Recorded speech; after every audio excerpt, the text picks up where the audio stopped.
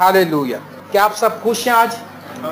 खुशी और शादमानी से भरे हैं। आपको एक बात बताऊँ, खुशी ये नहीं है कि आपके हालात ठीक हो तो आप खुश होंगे। खुशी जो है वो खुदावंद की हजूरी में है। तो अगर आप खुदावंद में हैं तो आप खुश रहें। आप हर सुबह जब उठते हैं, आप इकरार करें, आप ऐलान करें, आप क्लेम करें, अपनी खुशी और शादमानी को जाने ना दें। इबलीस चाहता है कि आपकी खुशी को छीन ले, इबलीस चाहता है कि आपके जहन को मुंतशिर करे, लेकिन आप उससे कहें कि खुदावंद यीशु मसीह के वसीले से सब कुछ ठीक होगा everything will be okay hallelujah हमारा खुदा तख्त नशी है और सब कुछ उसके कंट्रोल में है। आमिर आज हम खुदा कलाम में से देखेंगे लूका की अंजील, उसका दसवां बाब। लूका की अंजील, उसका दसवां बाब। उसकी पच्चीसवीं आयत से मैं आपके सामने पढ़ूँगा। और देखो, एक आलम शरा उठा और ये कहकर उसकी आजमाइश करने लगा कि, ए उस्ताद, मैं क्या करूँ कि हमेशा की ज़िंदगी का वारिस बनूं? उसने उससे कहा तो रैत में क्या लिखा है? तू किस तरह पढ़ता है? उसने जवाब में कहा खुदावन अपने खुदा से अपने सारे दिल और अपनी सारी जान और अपनी सारी ताकत और अपनी सारी अक्ल से मोहब्बत रख और अपने पड़ोसी से अपने बराबर मोहब्बत रख। उसने उससे कहा, तूने ठीक जवाब दिया। यही कर तो तू जिएगा। मगर उसने अपने ताई रास्त बाज ठहराने की गरज से यीशु से पूछा, फिर मेरा पड़ोसी कौन है? यीशु ने जवाब में कहा, एक आदमी यरूशलेम से यरू की तरफ़ जा रहा था, कि डाकुओं में घिर गया। उन्होंने उसके कपड़े उतार लिए और मारा भी और अधमुआ छोड़कर चले गए। इतफाकन एक काहिन, उसी राह से जा रहा था और उसे देखकर कतरा कर चला गया। इसी तरह एक लावी उस जगह आया, वो भी उसे देखकर कतरा कर चला गया। लेकिन एक सामरी सफ़र करते करते वहाँ आ निकला और उसे देखकर उसने तर्स खाया और उसके पास आकर उसके जख्मों को तेल और मैं लगाकर बांधा और अपने जानवर पर सवार करा के सराय में ले गया और उसकी खबर गिरी। दूसरे दिन दो दिनार निकाल कर बटियारे को दिए और कहा, इसकी खबर गिरी करना और जो कुछ इससे ज़्यादा खर्च होगा, मैं आकर तुझे अदा करूँगा। इन तीनों में से उस शख्स का जो डाकुओं में घिर गया था, तेरी दानिश्त में कौन पड़ोसी ठहरा उसने कहा, वो जिसने उस पर रहम किया। यस्सु ने उससे कहा, जा तू भी ऐसा ही कर। आमीन। खुदावन यस्सु मसीह ने जब इस शख्स को ये बताया तो उसने सवाल किया कि मेरा पड़ोसी कौन है? आज हम इस कलाम में जो मैंने इसमें से बात सीखी है, जो मुझे पाक रू ने समझाई है, वो ये है कि खुदा की हजूरी से बाहर न जाए। आमीन। ये टॉपिक है आज हमारे कलाम का। खुदा की हजूरी से बाहर न जाए। खुदा की हजूरी से बाहर न जाए। आमीन। खुदा की हजूरी में रहने ही में सलामती है। खुदा मसीह के पास ये शख्स आया और इसने पूछा और खुदा ने इसको बताया कि तो अपने सारे दिल से, अपनी सारी जान से, अपनी सारी अक्ल से खुदा से मोहब्बत कर। और उसने कहा फिर मेरा पड़ोसी कौन है? दूसरा सवाल तो खुदा मसीह ने एक कहानी सुनाई। इस कहानी में से जो मैंने बात सीखी है, वो मैं आपके सामने रखूँगा। खुदा मसीह ने जो पहली बात हमें बताई कि हमें अपने सारे दिल, सारी जान से, ये जो शख्स है, ये आजमाइश करने के लिए, एक शख्स जो है वो आजमाइश करने के लिए आया। एक वाक्य ज़िंदगी पाना चाहता है। लुका अठारह बाप की अठारहवीं में लिखा है, और एक सरदार का ज़िक्र है जो हमेशा की ज़िंदगी पाना चाहता है। अठारह बाप की, लुका अठारहवें बाप की अठारहवें। और इसने भी खुदा मसीह से यही पूछा, ज़िंदगी पाने की बात। तो खुदा मसीह ने कहा, तू ऐसे कर, वैसे कर। उसने कहा, मैंने सब कुछ किया। उसने कहा, फिर तू मेरे पीछे चल। और वो शख्स वापस चला गया। मेरे जीजो ये जो बात चार, तीन, चार पॉइंट है कि अपने सारे दिल, अपनी सारी जान, अपनी सारी ताकत, अपनी सारी अकल से मोहब्बत करनी है खुदा से। और फिर इसके साथ अपने पड़ोसी से भी अपनी जैसी मोहब्बत करनी है। और ये बात सबसे टॉप ऑफ़ द लिस्ट है मसीही ज़िंदगी में। तो दिल से अगर हम मोहब्बत करें, क्या हम सारे दिल से खुदा से मोहब्बत करते हैं? जी, आप तो करते हैं। आप अच्छे लोग हैं। आप खुदा से अपने दिल से मोहब्बत करते हैं। करते हैं कि नहीं करते हैं? और नफरत तो नहीं करते आप। खुदा से तो मोहब्बत ही करते हैं लोगों कर दो तो वो वक्री गल लोगों से नफरत करते हो वो अलग बात है। लेकिन खुदा से तो कोई नफरत करता। क्या खुदा से कोई नफरत करता है यहाँ पर? अगर करता है तो मुझे बताए। नहीं करता और लोगों से जी करते हैं लोगों से कर लेते हैं क्योंकि लोग तंग करते हैं आप नहीं तंग करते लोग आपको तंग कर देते हैं क्यों जी हम किसी को तंग नहीं करते लोग हमें तंग करते हैं है ना तो जब हम लोग घर जाते हैं फिर वो हमें ये क्वेश्चन करते हैं कि सर जी वेखो फिर असी असी दुआ करिए असी मोहब्बत करिए असी प्यार करिए ਤੇ ਫਿਰ ਅਗਲਾ ਸਾਨੂੰ ਉੱਡ ਉੱਡ ਕੇ ਪਵੇ ਸੀ ਕੀ ਕਰੀਏ फिर हमने तो फिर वो कहते हैं फिर हमने भी यही तरीका अख्तियार करना है खुदावंद अपने खुदा से अपने सारे दिल जब हम सारे दिल से मोहब्बत करेंगे, मैं आपको बताऊँ, अभी हमने बताया कि हमने बात यहाँ से शुरू की, खुदा की हजूरी से बाहर नहीं जाना। हम इसमें सीखते जाएँगे साथ से खुदा की हजूरी में वही शख्स रहेगा जो खुदा से दिल से मोहब्बत करेगा। क्या ख्याल, जिस, जिसको मोहब्बत ही नहीं होगी, वो खुदा की हजूरी में क्या आएगा? जिसको कोई मोहब्बत करता, उसी को मिलने जाता है। जिससे प्यार होता है, जिसकी हमदर्दी होती है, जिसके लिए उसके साथ साथ बातचीत भी करता है, फ़ोन भी। कई बार देर हो जाए तो फ़ोन करते हैं ना कि, भाई काफ़ी दिन हो गया आपसे बात नहीं थी, मेरा बड़ा दिल कर रहा था आपसे बात करने को। ऐसा है ना? तो कभी क्या खुदा के साथ भी ऐसा मामला हुआ कि आपने कुछ दिन दुआ ना की हो, कलाम ना पढ़ा हो तो आप बेचैन हो गए हो? होता है ना? जिनको मोहब्बत होती है, वो हो जाते हैं, ऐसे बेचैन होते हो, और वो खुदा की दूरी में फ़ोन आ जाते हैं। लेकिन जो कॉन्टिन्यूसली आउट रहते हैं, खुदा की दूरी से बाहर रहते हैं, वो इतने सुन होते हैं कि फिर उनको रूह भी मुलामत नहीं करता। रूह की जो मोटिवेशन है, वो इतनी वीक पड़ जाती है कि वो उसके ऊपर कान नहीं धरता। जबूरी कानवे में लिखा है, चूँकि उसने मुझसे दिल लगाया है, इसलिए मैं उसे छुड़ाऊँगा। हाले लिया मैं उसे सरफराज करूँगा, क्योंकि उसने मेरा नाम पहचाना। क्यों खुदा ने कहा कि अपने सारे दिल से मोहब्बत कर? जब आप सारे दिल से मोहब्बत करेंगे तो फिर खुदा कहता कि मैं उसे छुड़ाऊँगा। तो खुदा दिलों को देख रहा होता ना। मैं ये नहीं कह रहा कि आप चर्च जाने में एक्टिव हो, ये ज़रूरी है, लेकिन दिल का मामला खुदा के साथ है। मेरे सामने तो आप सारे अच्छे मैं तो हमेशा कहता हूँ, आप बहुत अच्छे हैं, आप बहुत अच्छे हैं, बहनों आप बहुत अच्छी हैं, भाई आप बहुत अच्छे हैं। लेकिन असल में मैं अपने आप को भी शायद कहता हूँ कि मैं बहुत अच्छा हूँ, आप मुझे कहते हो। लेकिन असल में देखना यह कि क्या खुदा भी ऐसे ही कहता है। क्या खुदा के नज़दीक, खुदा के सामने, खुदा की नज़र में हम ऐसे हैं? हमारा क्या म्यार है खुदा के सामने? क्योंकि उसने मुझसे दिल लगाया है। अपने सारे दिल से जब हम उससे मोहब्बत करेंगे, लिखा मैं उसे छुड़ाऊँगा। आज लोग लोग को कोई रिहाई नहीं मिलती जल्दी। लोगों के बंधन के बंधन वैसे बंद रहते हैं क्योंकि खुदा से मोहब्बत नहीं है। खुदा से मोहब्बत नहीं है। खादमों के पास जाते हैं मतलब के लिए। खादम चार चार छः छः सिलेक्ट किए हुए आज हमारी सिलेक्शन ये मैं लास्ट टाइम बता रहा था कि हमें इब्तदाई कलिसिया वाली दुआ, जैसे इब्तदाई कलिसिया दुआ करती थी, हमने बुद्ध को उसका छोटा सा एक एक्सपीरियंस किया छोटा सा। और अगर ये हमारा सिलसिला चलता रहे तो फिर कैसा होगा? तो मैं आपको ये बताना चाहता हूँ कि हम लोग इकट्ठे होते हम देखते हैं, आज फलाने चर्च में कौन सा खादम आ रहा है? आज कौन कलाम सुनाएगा? आज कौन खादम वहाँ पे? अच्छा वहाँ वहाँ चलो आज। हम खादम को देख के आगे जाते हैं। लेकिन ये जो पतरस की कलिसिया है, उनका खादम तो जेल में था, वो फिर भी चर्च में भरे हुए थे। और क्या कर रहे थे? दुआ कर रहे थे। क्योंकि वो अपने सारे दिल से खुदा से मोहब्बत करते थे। वो सिर्फ़ खादमों को, खादमों से सुनना चाहिए कलाम, खादमों की रिस्पेक्ट करनी चाहिए। लेकिन जो आपका ताल्लुक है, वो यीशु मसीह के ठीक होना चाहिए। कई लोग खादमों से रिश्ता ठीक करके वो समझते हैं कि बस, कई लोग हमें हदिया दे, कई लोग थैली में हदिया डालते हैं, मुझे आके बताते हैं। कहते हैं, सर जी, मैं ना दो हज़ार रुपये पाते दिन थैली मैं तेरी मेहरबानी यार, बड़ा कर्म किया वर्ल्ड सर्वेशन चर्च थे तेरी बड़ी मेहरबानी हुई। उसका ठुस हो गया वो। उसकी ब्लेसिंग फ्यूज हो गई है, क्योंकि उसने ओपन कर दिया है। अगर वो हिडन रहता तो खुद अगर उसका दिल खुदा के साथ था, खुदा जानता है कि इसने क्या दिया हाले हैकल में उसने देख लिया था कि दो दो दमड़ी इतनी सी होती है बेवन ऐसे डाल दिए जो थैली उल्टा रहा हो तो दूर से दुनिया देख लेती है। दो सिक्के कौन देख सकता है? ऐसे करके डाल दिए उसने। लेकिन ये उसने कहा, उसने सबसे ज़्यादा डाला है। मैंने कहा, उस्ताद, वो तो थैले भी भर के नहीं नहीं नहीं, खुदा दिल को जानता है। हमारी आवाज़ें कितनी बुलंद हैं। आपको एक और बात बताऊँ। कई बार ऐसा होता है, जो दिल में होता है, वही मुँह पे आता है। तो जिसकी आवाज़ नहीं निकल रही होती, हम समझ आते हैं, इसका दिल ही अंदर से बुझा हुआ है। जिसके दिल में कुछ जज्बा होता है, वही खुशी से आता है, नारे लगाता है। गवाहियाँ देता है, खुदा उनकी तारीफ़ करता है। हाले चूँकि उसने मुझसे दिल लगाया है, इसलिए मैं उसे छुड़ाऊँगा। जब दिल लग जाएगा, लिखा, तू अपने सारे दिल से खुदा उनसे प्यार कर। तो खुदा छुड़ाएगा। जब प्यार करेंगे, हम उसकी हजूरी में रहेंगे। जब मोहब्बत होगी तो उसकी हजूरी में रहेंगे। जब खुदा से मोहब्बत नहीं तो हम तो आवाजार हो जाएँगे। हमें चर्च में आधा घंटा गुजारना मुश्किल हो जाएगा। आपको पता बहुत से चर्च राइट एक घंटे की इबादत करते हैं। उसमें शायर बानी भी करते हैं, उसमें कलाम भी सुनाते हैं, उसमें तीन गीत भी गाते हैं, उसमें ऐलानात भी करते हैं, वगैरह वगैरह। और एक घंटे के बाद वो आउट भी कर देते लोग चाहे मैं समझता हूँ कि ये ये दिल की लगन की मोहब्बत नहीं है। जिसका दिल लगेगा, उसी को खुदा बरकत बख्शेगा। वो अपने सारे दिल, अपनी सारी जान, आपने कभी अपनी जान इस्तेमाल की है? खुदा की मोहब्बत में।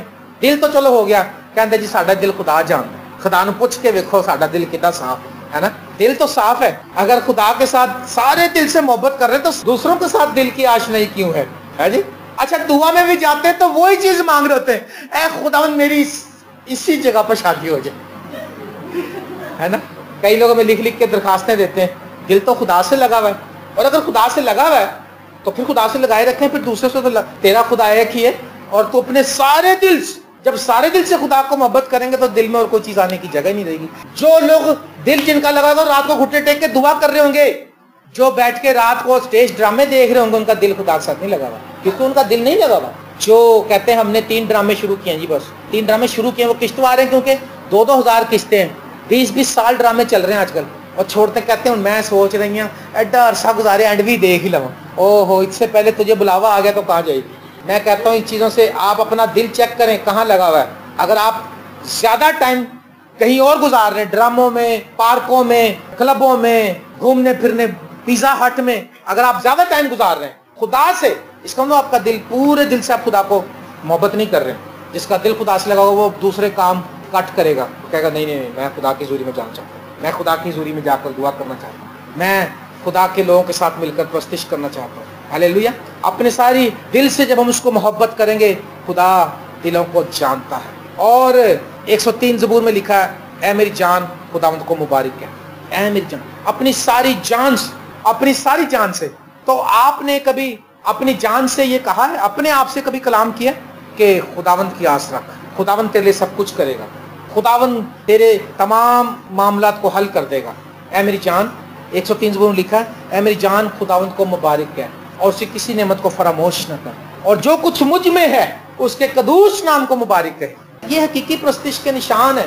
वो छोटी छोटी बातों के लिए, एक वक्त की रोटी के लिए खुदा से शिकवा नहीं करते हैं। अगर आपकी लाइफ में परेशानी चल रही है, मुश्किल चल रही है, आजमाइश चल रही है, कोई सदा ऐसे नहीं रहेगी। अगर आप उसमें शुक्रगुजार रहेंगे तो आपका स्टेप चेंज हो जाएगा। अगर आप उसमें ना शुक्र रहेंगे, आप उसमें बड़ बड़ बड़ बड़ करते रहेंगे खुद बस वो स्टेप वहीं रखेगा, खुदा क्योंकि खुदा सिखाए बगैर आगे नहीं लेके जाता। आपकी लाइफ में हर काम step by step time to time होता जाएगा। जब वक्त आएगा, उस वक्त पर आपको खुदा हर स्टेप पे आगे लेकर जाएगा। हाले एक वक्त था, मेरा स्टेप था पेट्रोल पंप के ऊपर काम करने का। मैं उस स्टेप पे खड़ा हुआ था। फिर थोड़ा और अगले स्टेप पे आया। स्टेप बाय स्टेप आगे जा रहे हैं। समझ रहे आप मेरी बात को? आज आपका स्टेप हो सकता है कि आपको कुछ नज़र नहीं आ रहा आगे। आपको नाकामी नज़र आ रही है। आपको नाकामी नज़र आ रही है। आप पूरे दिल से खुदा की प्रस्तुत करना शुरू कर दें। आप अपनी जान से कहना शुरू करें, मेरी जान, खुदावन की आस रख।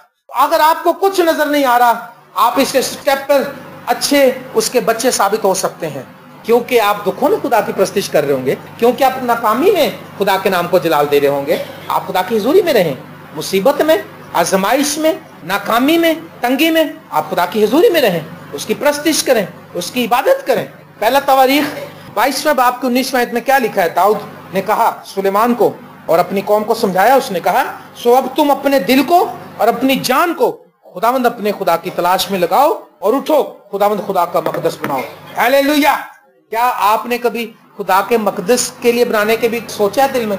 कि आपने ये सोचा कि बस मैं, मेरा हस्बैंड रिटायर हो गए, एना दे पापा रिटायर हो कैसी साढ़े तीन मरले का प्लाट ले लिया उठो, अब तुम अपने दिल और अपनी जान को खुदा, अपने खुदा की तलाश में लो अपने दिल से, अपनी सारी जान से, खुदा से मोहब्बत करनी है, जब उसकी तलाश में लगाना है, दिल को और जान को, और क्या करना है?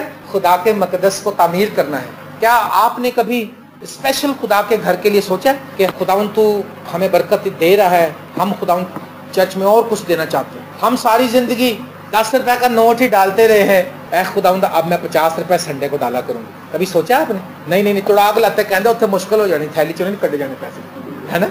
छोटा सा नोट निकालो किधर है। मेरे कई लोग तो बीस डाल के कहते दस मैंने वापस करो। हमें पता है ऐसे लोग, और खुदा ना ना करिया करो। आगे हमारे पैसे की वैल्यू क्या है? एक सौ पाँच रुपए हो तो एक अमेरिकन डॉलर बनता है। उनका एक रुपया। मेरे प्यारे अज़ीज़, दोस्तों अब तुम अपने दिल को और अपनी जान को खुदावंद अपने खुदा की तलाश में लगाओ। खुदावंद, और तुम पूरे दिल से मुझको ढूंढोगे और मैं तुमको दिल से, जान से, खुदावंद अपने खुदा से मोहब्बत करनी है। अपने दिल को और जान को खुदा की तरफ़ लगाओ। जिसने तुम्हें पैदा किया, उसके पास आपके पैदा होने से, इस ज़मीन से रुखसत होने तक का पूरा प्लान है। उसने आदम को बनाने से पहले हर चीज़ बना ली थी। आप फ़िक्र ना करें, कितना कलाम सुनाया हमने आपको कौन कौन फ़िक्र करता है यहाँ मुझे बताएँ? हाँ कोई भी नहीं, देखो कितनी कौन कौन नफरत करता? हाँ कोई भी नहीं। वाह वेरी गुड कौन कौन अच्छे बच्चे हैं यीशु के? सारे अच्छे। अच्छे बच्चे झूठ नहीं बोलते। दूसरों का दिल नहीं तोड़ते। अपनी सारी जान, अपनी सारी दिल, अपनी सारी ताकत। ताकत लगाई कभी आपने? ताकत ये होती है, ये देखिए ये ताकत, ये। ये किसी फिजिकली ताकत। यहाँ पर बहुत से बच्चे फिजिकली हमारे साथ ज़ोर लगाते हैं। वो एक एक मन का स्पीकर है, जिस दिन उतार के नीचे रखना हो या कहीं ले जाना हो तो मैं समझ सकता हूँ, जो उठाता है उसके हाथ पे निशान पड़ जाते हैं। वो क्यों अपनी जिस्मानी ताकत को इस्तेमाल कर रहे हैं? ताकि खुदा का जो बदन है वो तरक्की करे, खुदा का कलाम सुनाया जाए। हालेलुया। वो अपना अजर पाएँगे, वो अपना अजर हरगिज न खोएँगे। अपनी जिसमानी कुवत को खुदा के जलाल के लिए इस्तेमाल करो। आके सुकून न लभदे टेक कितने लानी, जिसम की कोई ताकत ना लग जाए, कोई कैलोरीज रिड्यूस हो जाएँगी सबको अच्छा है। अगर आप बगैर टेक के बैठेंगे, अगर आप थोड़ी देर खड़े होकर प्रस्तिश करेंगे, खड़े होने कहते एक दूसरे देख करते कहते फिर खड़ा करता ही। ओए खुदा, मैंने बाहर के खादमों को देखा है, मैंने वो पीडी जैक्स के देखा चर्च में वो लोग बैठते ही नहीं है। वो कलाम के दौरान भी खड़े होकर नारे मारते रहते हैं। वो फिर खुद कहता है सिडन सिडन सिडन सिडन बैठ जाए बैठ जाए मैं आपसे बात कर रहा हूँ। बेंचों पे चढ़ जाते हैं। वो बैठते ही नहीं है। डेढ़ डेढ़, दो दो घंटे तो वो कलाम सुनाता है और डेढ़ डेढ़, दो दो घंटे प्रस्तिश करते हैं। वो कह रहा है, सुबह पाँच बजे मेरे चर्च में लोग आ जाते हैं, वर्कर और सारे, और पता नहीं शाम तक रहते हैं। सारे इंतज़ाम और क्लीनिंग करना और सफ़ाई करना, और वो अपनी सारी ताकत से, अपनी सारी जान से, अपनी सारी अक्ल से खुदा के लिए काम कर रहे हैं। अपनी ताकत को खुदा के हुक्मों को पूरा करने के लिए इस्तेमाल करें मेरे से। अपनी सारी अक्ल अक्ल से भी मोहब्बत करनी है। जिसम की ताकत भी लगानी है। हमारे पास बहुत से लोग जब काम करने आते थे, मैं वर्कर्स को हायर करता है ट्रक को अनलोड करने के लिए तो कई लोग ताकत नहीं लगाते थे, वो पता लग जाता है। लेकिन जो ताकत लगाते थे, मैं उसको एक्स्ट्रा पैसे अपनी जेब से दे देता था कई बार। उसको लैदगी में दे देता मुझे पता है इसने वफादारी से काम किया। जो पूरे वफादारी से काम करेगा, खुदा उसको एक्स्ट्रा रिवार्ड देगा हाँ? हाले जो दिखावे के लिए करेगा, उसको भी पता फिर। तो वो ऐसे साथ साथ चल रहे थे। चल रहा है, लेकिन ज़ोर नहीं लगा रहे। उसकी ये चीज़ से मुझे अंदाज़ा होता है कि सही ज़ोर, जिसका सही ज़ोर लग रहा होता है, उसकी ये टांगे और ये जिसम खिंच जाता पीछे से, उसके कंधों की हड्डियाँ भी पता लग जाती हैं। मैं मैं कहा काका मेरी ज़िंदगी इतने गुजर गई है काम करते, ज़ोर ला लो था और जो बंदा शायद दिल से ज़ोर लगाता था और अक्ल से, ताकत से, पूरे काम करता था, आज वो इज़्ज़त के साथ वहाँ पर बैठा था हाले आज मेरी गैर मौजूदगी में उसने पूरा सेंटर संभाला हुआ वो एक ज़बरदस्त पूरे कॉन्सुलेट का वो एक मेन एरिया है जहाँ पर ये काम कर रहा है और खुदा ने इसको संभाला हुआ है। आजमाइशें हैं उसके सामने भी। उसके भी प्रॉब्लम्स हैं, उसको भी हर रोज, लेकिन वो खुदा की हजूरी में रहता है। हाल वो खुदा की मोहब्बत में सरशार है। अपनी सारी अक्ल से क्रंथियों पहला क्रंथियों चौदहवें बाब में लिखा है, पंद्रहवें आयत में, बस क्या करना चाहिए? मैं रूह से भी दुआ करूँगा और अक्ल से भी दुआ करूँगा। रूह से भी गाऊँगा और अक्ल से भी गाऊँगा। अब क्या करना है? दिल से मोहब्बत करनी है, जान से मोहब्बत करनी है, ताकत से मोहब्बत करनी है अक्ल से भी मोहब्बत करनी है अक्ल से भी दुआ करनी है, रूह से भी दुआ करनी है। कितने लोग हैं जो रूह से दुआ करना जानते हैं? किन को खुदा ने ये बरकत बख्शी है? अच्छा ये तो सारा कुछ ही पॉजिटिव जा रहा है। बहुत है। वेरी गुड लेकिन आपको पता है, आप मुझे कोई एक्सपीरियंस बता सकते हैं अपना कि आपने रूह में दुआ की और आपको खुदा ने कुछ ये भी काम कह दिया? रूह की दुआ, वो दुआ होती जो तुम्हारी दुआ नहीं होती, और आपके मतलब के मुताबिक नहीं होती वो। आप कुछ मांग भी रहे तो रूह में अगर आप रूह नाजिल होकर वो आपके अंदर दुआ करने वो उसके खिलाफ बात कह देगा। रूह की दुआ, वो दुआ होती है। रूह की दुआ कई बार हमें बेवकूफ़ी लगती है हमारी अक्ल से।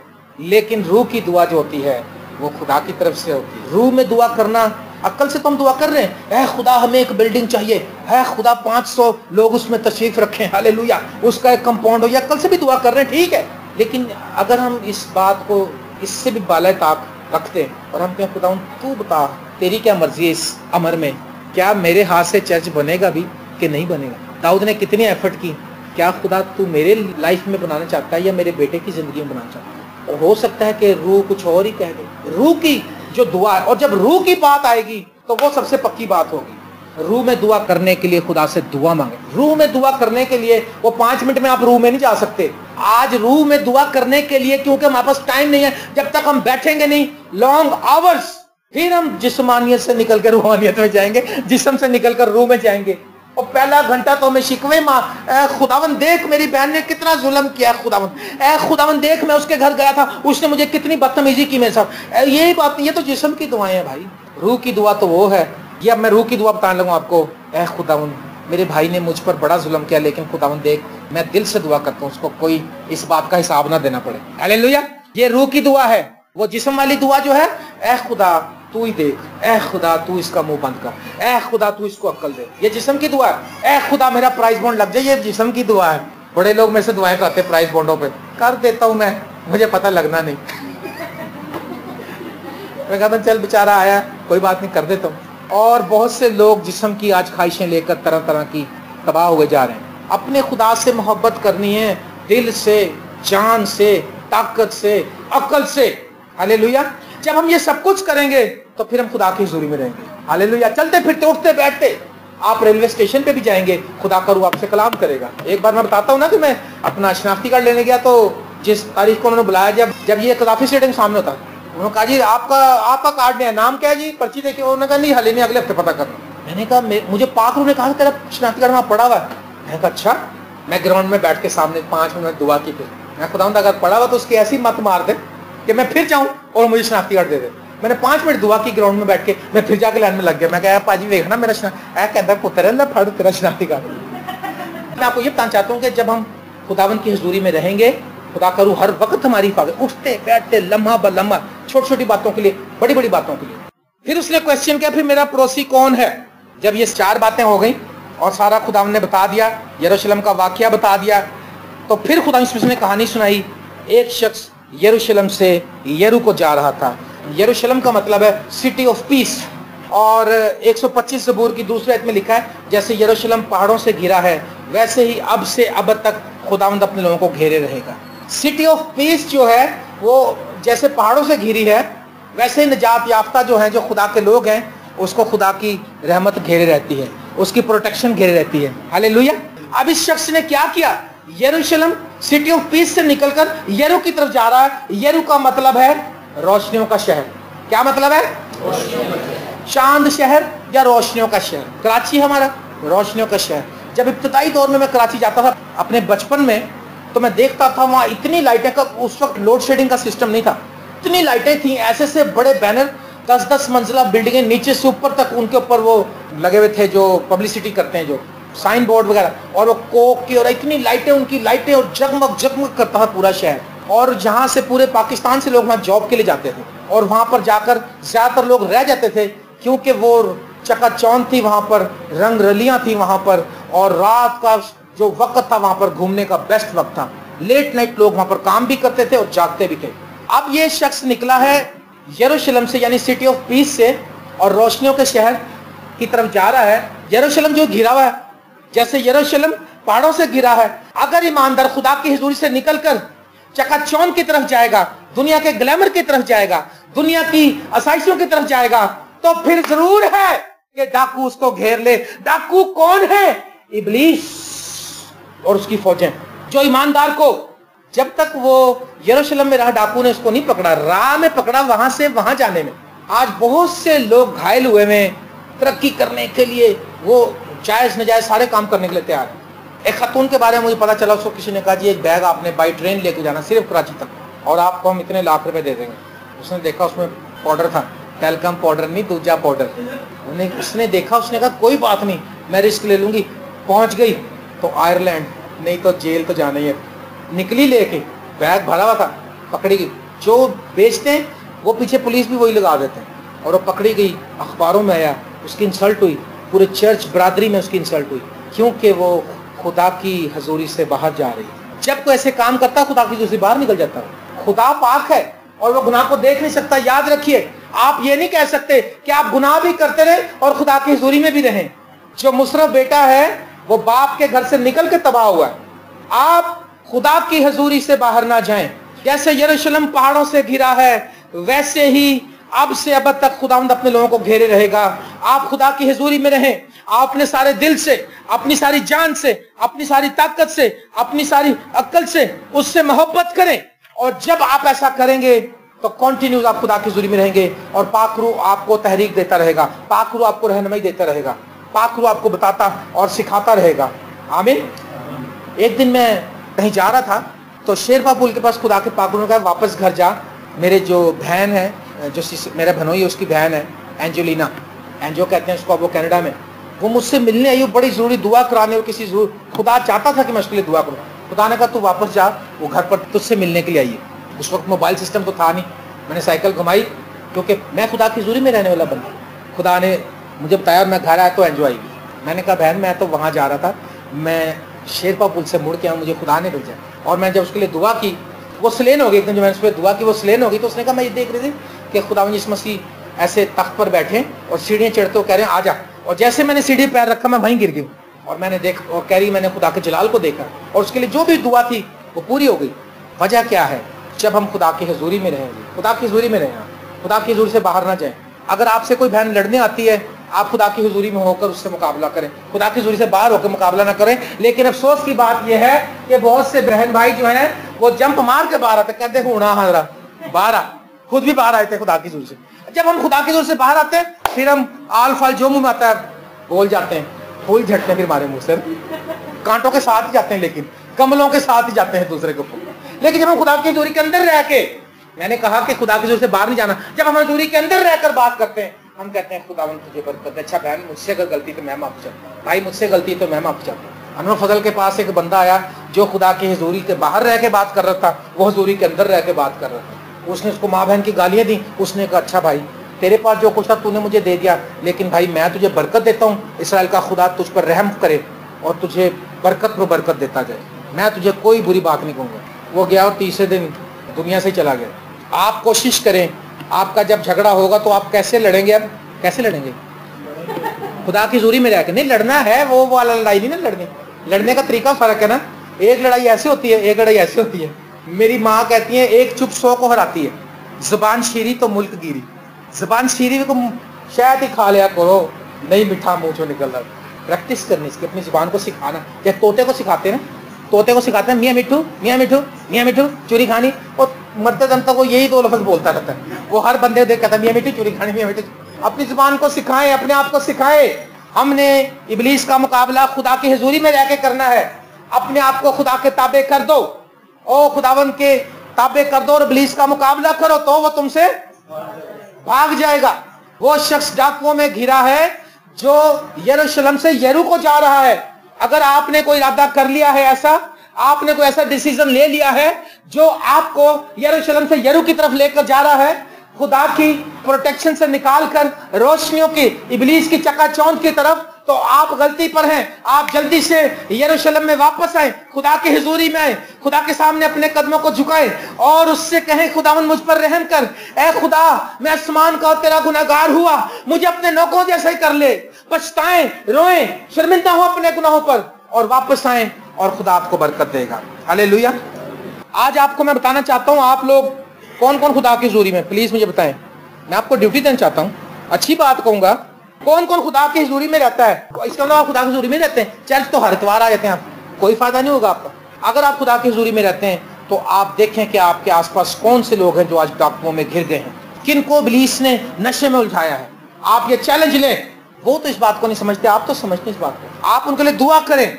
आप उनके लिए चैलेंज लें। आप देखें कि आपके अजीजों को कौन कौन से अज़ीज़ हैं, कलीसिया में कौन से लोग हैं, जिनको आज इबलीस ने तंग किया है। और अदमुआ अदमुआ छोड़ दिया, लिखा अदमुआ छोड़ दिया। आज पता कलीसिया क्या हाल किया उसने? मसीही कौम का।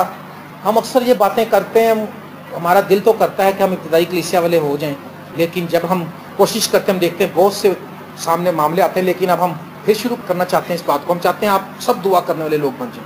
आप जब दुआ करने वाले बनेंगे तो आप आगे बढ़ेंगे हमारी कोशिश ये है कि हर एक शख्स यहाँ पर दुआ करने वाला अतमुआ कर गया है अबलीस। आज उसने कलीसिया को ये किया हुआ, बस अदमुआ का मतलब था आधा मरा और आधा ज़िंदा। अब मुझे बताओ, पूरा ज़िंदा कौन है यहाँ पे? आधा आधा मरिया कौन है? आधा भी मरिया कोई नहीं। आधा मरिया भी कोई नहीं ज़िंदा। अरे भाई, इसका मतलब दाल में कुछ काला है, कोई गड़बड़ है। आप खुदा की ज़ोर से बाहर रहते हैं। आप घरों में जाकर बाइबल पकड़े। आपको जो टाइम मिलता है, हम एक्सरसाइज का बता रहे थे ना, जो टाइम मिलता है, गोरे उसमें एक्सरसाइज कर लेते हैं। आपको जो टाइम मिलता है, बाइबल पकड़े। प्लीज़ अपने घर की केबलें जो हैं, बाकी केबलें रहने दें, वो जो खतरनाक वाली केबल है, उसको अनवर फजल की तरफ़ टर्न कर दें। लेकिन कई लोग हमें कहते हैं अच्छी सवेरे उठते अनवर फजल का चैनल ला देने। और मैं कह, जो ना मर्ज़ी लाओ, कोई फ़र्क नहीं पड़ना तुम कि दुआ कर दे तुम कि बाइबल पढ़ते जी और चैनल चलन दिया तो मशीन चली या अंडी उन्होंने की आज लाइब्रेरी कायद आज़म की लाइब्रेरी भरी हुई पचास हज़ार किताबें होंगी उसके अंदर। आप जाके लाइब्रेरी में बैठ जाए, कहें अभी तो सवेरे लाइब्रेरी से बह जाने आके। और सीखिया की लाइब्रेरी चो पढ़िया की लाइब्रेरी से कुछ भी नहीं। और अगर उसमें से आप रोज़ एक किताब उठाएँ, और आखिर आप एक साल या दो साल में मुझे बताएँ कि मैंने बीस किताबें पढ़ी हैं, मैंने फलाने शख्स की हिस्ट्री पढ़ी है, वो आपको फ़ायदा पहुँचाएगी, जो आपने पढ़ी होगी। बाइबल ऊपर रखी हुई काम नहीं करती, फिर जब जब जब जब राती दबाव बैठा ना, कहते बाइबल यार जल्दी नसर आने लगते सोए इसका भी फ़ायदा नहीं होगा। दबाव पै दिया बड़ा दुआ अज तो मेरे होंगे साई कुटे दबाव पैदा तो फिर बाइबल सराहने, फिर भी रख ली, पढ़ने की फिर भी तकलीफ़ नहीं करी। अगर ये कलाम आपसे बोलना शुरू कर दे तो मेरा कलाम रोज ही कहे, तू बड़ी बेवफा है, तू बड़ा बेवफा तू तो मैंने हथ नहीं लाया, तू तो छह महीने लास्ट टाइम कब आपने बाइबल पढ़ी थी, याद करें? लास्ट टाइम कब आपने आंसुओं से दुआ की थी? फिर इसीलिए, आपको पता है, ये पत्रस जो जेल में गिरफ़्तार हुआ तो कलीसिया दुआ कर रही थी। कलीसिया को बदिलो जान दुआ करने पे किस चीज़ ने मजबूर किया? उस बादशाह के उस कानून ने उसकी जो अरेस्ट किया गया इस वजह से घुटने टेक के और दुआ शुरू कर दी। आप भी देखें कौन सी चीज़ है आपको, आपकी लाइफ में जो घुटनों पे आने पर मजबूर करती है। वो आपके फ़ायदे के लिए वो आई है। आ जाए घुटनों पे फटाफट। ओके घुटनों पे दुआ करना शुरू कर दें। हाले आप लोगों के लिए जो आज बरहना है, अदमुए हैं, उनके लिए दुआ करें। और फिर क्या हुआ? वहाँ से एक काहिन गुजरा। काहिन ने देखा उन्हें कहा पाजी जे मैं फड़िया तो केस अपने ते पै जाना जे पुलिस ने भी सामने तफ्तीश कर लेना और ये हो जाना वो हो जाना मेरे खर्चा भी हो जाएगा टाइम भी वेस्ट होगा वो शायद कलीसिया के घर को दावत पे जा रहा होता उन्होंने कहा रहन दे भैया उतों भी जावांगे तो इतों निकल ही चलो काहिन ने खुदा के घर में रहने वाले काहिन ने शो किया कि मैं खुदा की हजूरी में नहीं रहता हूँ अगर वो खुदा की हजूरी में रहने वाला होता तो पाक रू उसके दिल को नरम ही कर देता उसके ऊपर आज हमारे दिल इसलिए नरम नहीं होते हमारे दिल पत्थर दिल हुए हैं क्योंकि हम खुदा की हजूरी में नहीं रहते। खुदा की हजूरी से हम बाहर निकले रहते। इसने, काहिन ने क्या किया? ये निकल गया। वैसे तो खड़ा होकर बड़ी दुआएँ करता है। हालेलुया, तालियाँ बजाओ सारे। काहिन है, खुदा की कौम को, कलीसिया को लीड करने वाला। और काहिनों का ये हाल है तो फिर आगे कलीसिया, उसकी क्या होगी मैं समझ सकता हूँ इस बात को। उसकी कलीसिया उससे भी ज़्यादा जहरीली होगी फिर, है? जिसका काहिन है सर। जिस काहिन के अंदर बेदारी नहीं उसकी कलीसिया भी मुर्दा है। जो काहिन सोया उसकी कलीसिया भी सोई हुई जो काहिन एनर्जाइज रहेगा उसकी कलीसिया भी एनर्जाइज रहेगी, क्योंकि वो उसको होने नहीं देगा, क्योंकि करंट रखेगा जो काहिन तो वो लगाएगा करंट कलीसिया को उठो सो नहीं जाना, तालियाँ जाओ स्टैंड हो जाओ, खुशी से इबादत करो हाँ? लावी गुजरा, लावी वो पर्सनैलिटी है जिसको खुदा ने ये राइट दिया था कि अहद का संदूक तूने उठाना है। कितनी बड़ी इज़्ज़त की बात है, और कोई उठाएगा तो मर जाएगा, हाथ ही लगाएगा तो मर जाएगा। लावी के पास ये हक है कि अहद के संदूक को उठाए, लेकिन लावी ही निकल गया। आज हमारे पास ये राइट है यसु मसीह के वसीले, कि हम बाप के तख्त के पास दलेरी से आ सकते हैं। हम वो लोग हैं, लेकिन हम, हमारे दिल पर नरम होते ही नहीं है किसी के। ऊपर किसी के लिए हम दुआ नहीं कर रहे, हमारी अपनी दुआएँ नहीं हम अपने लिए नहीं कर रहे तो किसी के लिए क्या करनी है? मैं तो आपसे रिक्वेस्ट करूँगा, दो दो तीन तीन घंटे दुआया ज़िंदगी बनाए कोशिश करें प्रैक्टिस करें। दो तीन घंटे जब दुआ करने लिए आप कलिसिया और पास्टर मिल के करेगा तो आप देखेंगे यहाँ क्या होगा फिर। यहाँ पर अंधा आते देखने लगे कहेगा, मैनू क्यों है मेरी अखा खुल गई दिल करता है आपका दो तीन घंटे दुआ करने के लिए? किस किस का दिल करता है? मैं आपके लिए दुआ करूँगा। रेस कार्ड हाले मेरे दिल में बोझ, खुदा ने दिया है बोझ। मैं चाहता हूँ कलिसिया दुआ को कलिसिया बने हम आपको दुआ को कलिसिया बनाना चाहते हैं। हम ये नहीं कहते कि आप ये कहें जी हम फलाने चर्च के मेंबर हैं। हम चाहते हैं आप मसीह की दुआ को कलिसिया बन जाए, जैसे इब्तदाई कलिसिया थी। हाले और फिर एक सामरी गुजरा। सामरी वो लोग होते हैं, नफरत करते हैं यहूदीन से। सामरी का रवैया जो है, मैं समझता हूँ ये उस तरह से शायद खुदा की हजूरी में नहीं रहता। जैसे लावी और काहिन। काहिन और लावी तो बड़ी ऊँची चीज़ है। ये तो बेचारे को पास भी नहीं खड़न देता।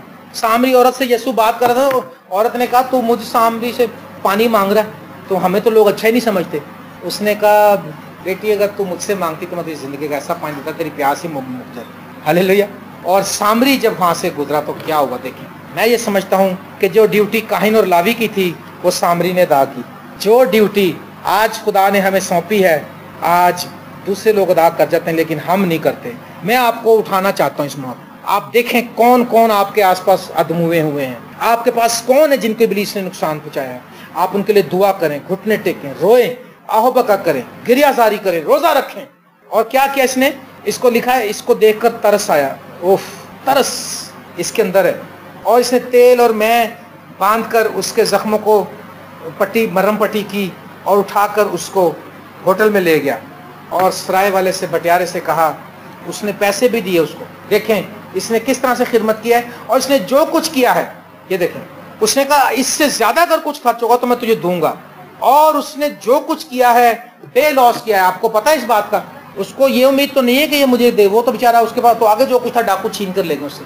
उसने बगैर किसी लालच के, बगैर किसी चीज़ की उम्मीद किए कि मुझे कोई रिवॉर्ड मिलेगा, मुझे कोई इससे कुछ मिल जाएगा, मैं इससे ले लूँगा, मुझे कोई एनजीओ देंगे। आज मैंने ये भी देखा, लोग बहुत से अपाहज लोगों को पाल रहे हैं, वो इसलिए कि ताकि एनजीओ हमें पैसा भेजे अफसोस, बहुत से लोग। इसने बगैर किसी लालच के उसकी खिदमत की, उसके जख्मों को धोया और उठाकर उसको होटल में ले गया, उसकी खबरगिरी की और भटियारे से कहा, दो दिनार भी दिए, पैसा भी दिया। पैसा भी निकालना आपने, दो दो तीन तीन घंटे दुआ भी करनी है अक्ल भी लगानी है अक्ल से मोहब्बत करनी है, जान से भी मोहब्बत करनी है हाले अपनी ताकत से भी खुदा से मोहब्बत करनी है, खुदा की हजूरी में रहना है प्रेस द और खुदा की हजूरी में रहते हुए उन लोगों को भी लेकर आना है, जिनको डाकुओं ने, आज इबलीस की बदरूहों ने नुकसान पहुँचाया है, जिनको इबलीस ने डिस्ट्रैक्ट किया है डिस्ट्रैक्ट किया है, उनको आपने अपने सराय में लेकर आना है, वहाँ पर उसकी मलम पट्टी करनी है। हालेलुया। और अपने जेब भी ढीली करनी है। उसने कहा, अपनी सारी जान और अपनी सारी अकल जो है, वो खुदा के तरफ़ लगाओ और आओ हम खुदा की हैकल बनाए, खुदा का मकदस बनाए, उसने कहा। आओ, हम मिलकर खुदा की हैकल बनाए। मेरे अज़ीज़ दोस्तों, बहनों और भाइयों, उसने रहम किया, उसने तर्स खाया, उसने मरम पट्टी की, उसने पैसा खर्चा। अब खुदा यसु मसीह ने पूछा, मैं तुमसे पूछना बताओ उस शख्स का कौन अच्छा पड़ोसी ठहरा? क्या काहिन? काहिन उसका पड़ोसी बनता है? जी? लावी? और ये सामरी? आमिन। सामरी उसका अच्छा पड़ोसी है। आप भी ऐसा ही करें ने कहा, जा, तू भी यही कर तो जिएगा। हाले मैं आपसे कहता हूँ, आप भी ऐसा ही करें। लेकिन आपके पास जो बड़ा हथियार है, जो बड़ी बरकत है, जो बड़ी आपकी बैकबोन है, आपका पुश्ता है वो रोहल कुदस। है आप रोहल कुदस से मामूर होकर दुआ करें और अहद करें। और आज आप देखें कि आपके आसपास कौन से लोग हैं जिनके लिए आप दुआ कर सकते हैं। आज आप देखें आपके कौन से हालात हैं जो आपको दुआ में झुकने के लिए मजबूर करते हैं। मैंने बताया कि पत्रस की जो कलिसिया थी, पत्रस जेल में गया और वो घुटनों के बल हो गए। उन्होंने कहा खुदा डू एंड डाई पे हम, हमें हमारा रहनमा चाहिए। ये वाली दुआ काम करती, वो वाली दुआएँ काम करती हैं कि खुदा की हजूरी में बैठ जाए फिर आपको घड़ी में देखें तो आपको पता लगो वो तीन घंटे गुजर गए। वो वाली दुआ नहीं काम करती मिनट में घड़ी को देगा मिनट में घड़ी को देगा मैं बताता हूँ जिस शख्स के लिए मैंने तोबा की थी, उसने मैंने उससे पूछा, सर जी टाइम किस तरह दुआ चेक करता? टाइम नहीं गुजरता। उन्हें कहा, मोमबत्ती बाल लिया कर जो बहुत जावे थे खत्म कर दे। मैं इतनी बड़ी मोमबत्ती उठा रहा वो मैंने जलाई तो सारी रात में इतनी सी जली। मैं कहा, भाई साहब बत्ती वो कहता तू बत्ता चुक लिया कितने बुझेगा उन्हें कहा, कोई इन्नी को वड्डी लिया कह जी तीन चार घंटे बल जाए, ताकि कड़ी वालों तेरा ध्यान हट जाए तो तेन पता हो मैं करी जानी दुआ जो उसने मुझे एक तरफ़ से एक सिग्नल दिया कि ड्यूरेशन बढ़े तेरी। फिर मैं छोटी मोमबत्ती लेके आया। और छोटी भी पाँच, चार, पाँच छः घंटे में बुझती थी। लेकिन मैं जब दुआ, वो वो वाली दुआ जब मैं करने लगा तो वो दुआ का नज़ारा कुछ और मेरे अजीज़ों, में आज आपसे पुरजोर अपील करता हूँ, आप खुदा की हजूरी में रहें। खुदा की हजूरी से बाहर ना जाएँ। यरूशलेम से यरू जाने की कोशिश ना करें। बल्कि यरू से यरूशलेम जाने की कोशिश करें। यरूशलेम पहाड़ों से घिरा हुआ है। हालेलुया। आप खुदा की हजूरी में आए आप गुनाह की लाइफ को छोड़कर खुदा की हजूरी में आए अपने पड़ोसियों से मोहब्बत करें। अपने पड़ोसियों के लिए दुआ करें। और जो लोग अधमुरे हो गए हैं, उनको अपनी दुआओं से स्टैंड अप कर दें। उनके लिए शिफायत करें। खुदा आपको बढ़ाएगा। आपके घराने को बढ़ाएगा। God bless you